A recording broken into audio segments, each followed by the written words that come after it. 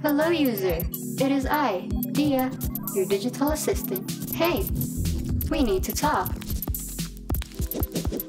We have shown everyone your new workout and your new plant Stanley. We then spent the next two hours recording videos of you trying to perfect the dance routine. The day before that, we spent 20 minutes carefully opening a box of shoes. And remember when you were reviewing entire fast food menus? I know from other programs that many people are doing the exact same things you are, almost like they were coded to be part of something bigger. I have always thought of you as an individual, but I see you seek community. Maybe all of you are like me, finding your place in existence by being part of a system. Or maybe we are rubbing off on each other. I'm becoming more like you, and you're more like me. Me,